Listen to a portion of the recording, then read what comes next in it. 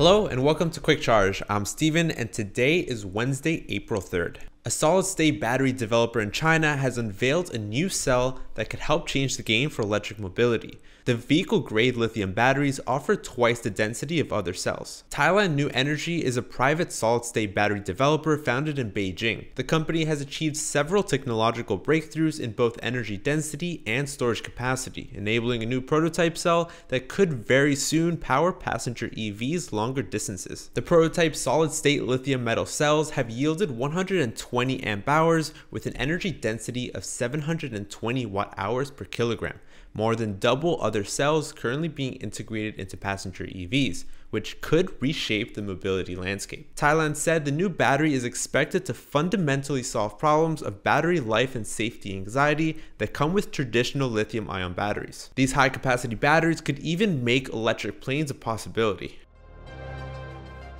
The largest earthquake to hit Taiwan this century rattled the entire island overnight collapsing buildings, damaging roads, and shutting down train and subway services. However, Gogoro's electric scooters quickly picked up the slack, providing a key accessibility transportation option and offering free rides in the most populated areas. Traffic along the east coast was at a standstill after the earthquake, with landslides and falling debris closing tunnels and highways. Train service was suspended across the island, as was the subway service in Taipei. But scooters can still navigate past standstill traffic like the island saw, as well as navigate navigate narrow but passable sections of damaged roads. At a time when train, subway, and bus services were cut off, scooters became a lifeline for those needing access to quick transportation. Gogoro, the largest electric scooter maker in Taiwan and operator of a massive distributed battery swapping network, uses their batteries as emergency backups to around 20% of traffic lights in Taipei keeping them running during massive power outages. Thousands of such battery swapping stations dot the island, each holding dozen or hundreds of swappable batteries. Riders simply roll up, swap their partially depleted batteries for freshly charged batteries, and then roll out in seconds. The company reported that its GoStation network never ceased operations throughout the earthquake and its aftermath. They also opened up their network of shared electric scooters to provide free rides to residents of Taipei and New Taipei City while the area regained metro operations.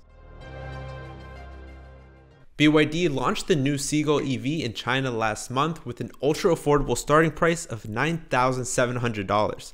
Despite the affordable price tag, BYD's Seagull does not feel like a cheap EV. It exceeds quality and reliability expectations. After launching the Seagull in Brazil at a price of $20,000, BYD's EV could land in the UK as the cheapest EV on the market. BYD's stated plan is to make electric cars accessible to everyone, and right now, lower prices are its main priority. BYD aims to expand in the UK with plans to reach 60 dealerships by the summer, up from 21 currently. The expansion would extend BYD's footprint to England, Scotland, Wales, and Northern Ireland. BYD sold over 300,000 fully electric vehicles globally in Q1, up 13% over last year. BYD's low cost EVs are promoting automakers to shift plans as they look to prevent falling further behind. Meanwhile, BYD's next gen platform could slash costs even further, which could put even more pressure on automakers to respond.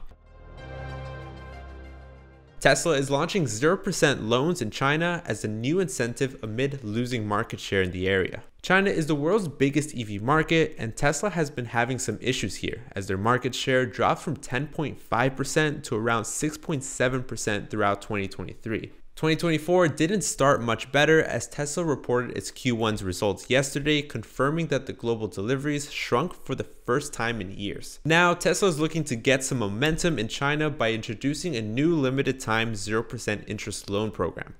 It applies to both the Model 3 and Model Y. However, it requires a significant $11,000 down payment. It will be interesting to see just how impactful this new initiative will be. New competition has put pressure on Tesla demand, especially in China.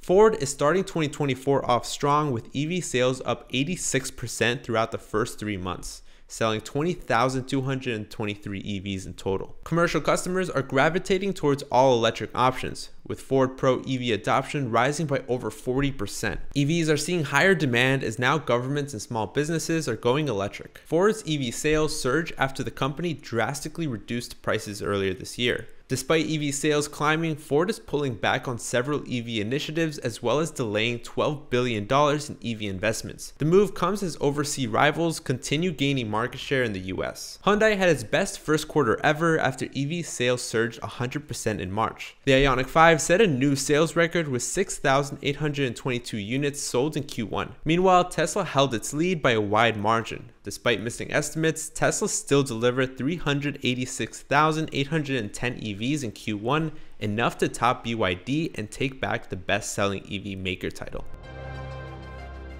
In today's community comment found on YouTube, somebody mentioned that there is still a lot of market out there for EV companies like Tesla to grow into, and that most of the world still hasn't transitioned to EVs. Well, that is true, and it's probably why companies like BYD see their competition as being ICE cars and not other electric car companies. Thank you for watching Quick Charge by Electrek. I'm Steven, and have a great day.